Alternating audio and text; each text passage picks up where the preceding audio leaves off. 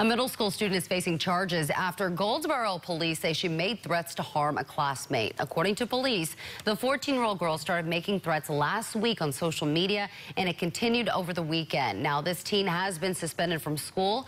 There will also be an increased officer presence at Dillard, uh, Dillard Middle School this week. Today was a teacher workday, so students were not on campus.